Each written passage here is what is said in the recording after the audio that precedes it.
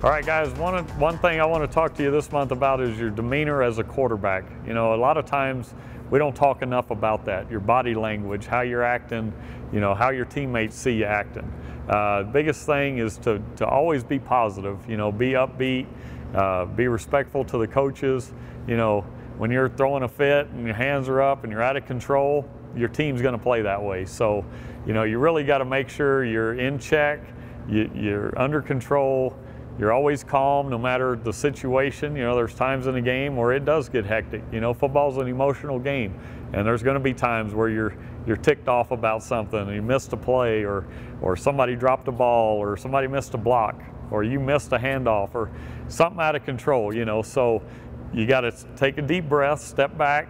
You know, make sure your teammate knows, okay, it's going to be all right. One mistake doesn't kill us. Uh, late in the game, you know, you got to step into the huddle with confidence that they believe you're going to drive down the field and, and score that winning touchdown. So, you know, always keep your emotions in check best you can.